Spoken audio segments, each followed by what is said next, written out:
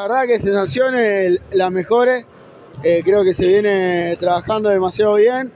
Si bien no, se dio el resultado, creo que se pudo ver un, buen básquet dentro de la cancha, que eso creo que es lo más, eh, lo, más eh, alegre que uno se puede llevar dentro de la cancha como técnico, ¿no? Los chicos se los vio con ganas, hubo algunas buenas combinaciones. ¿Cómo lo viste también de lo físico? No, la, verdad que, bueno, como a decir, muy lindas combinaciones. Creo que la pelota por momento rodó lindo, se jugó, se movió. Eh, en cuanto a lo físico, bueno, si bien estamos trabajando, hace poquito tiempo entramos en ritmo y bueno, tanto comisión como comisión directiva como cuerpo técnico decidimos generar amistosos para entrar un poco en ritmo y en juego para el torneo que se viene. Renzo, en este 2022 la primera no había arrancado a competir, pero bueno, se armó de vuelta el equipo. Contanos hace cuánto que están entrenando.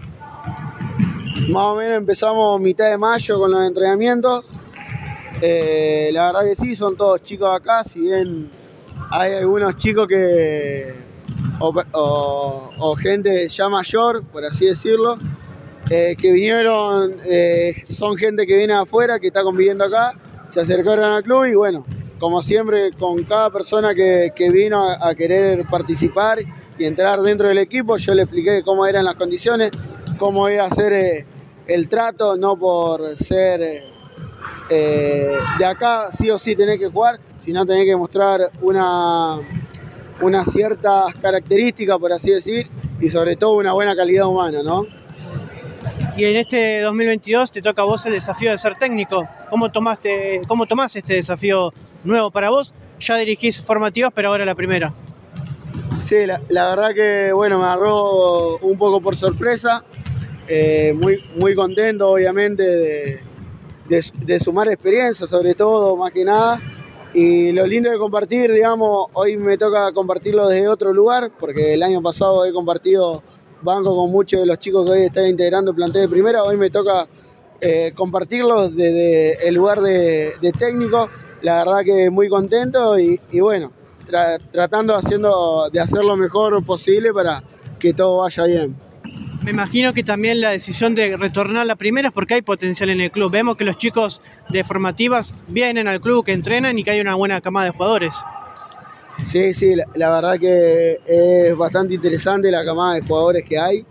Eh, muchos chicos, como se pudo ver en, el partido, hay muchos chicos integrando el plantel de primera, que es sobre todo el objetivo con el que se creó, digamos, eh, la primera. Renzo, dos preguntas. Primero, si tienen otro amistoso en mente y después, si se sabe cuándo empieza la actividad, la competencia. El tema de amistosos, sí, hay algunos amistosos más pactados tenemos este jueves viajamos a Santa Fe a visitar a UNL y seguramente la semana que viene eh, eh, vamos a estar recibiendo eh, martes y jueves de local a Kimberley, que ya hemos viajado, y a UNL. En cuanto al tema actividad del torneo, aún no está nada definido, si bien hay rumores que se empieza a, a principios de, de agosto, pero no hay nada confirmado aún. Bueno, Renzo, felicidades por, por este nuevo desafío, por el trabajo que, vienen realizando y bueno, seguramente nos seguiremos hablando.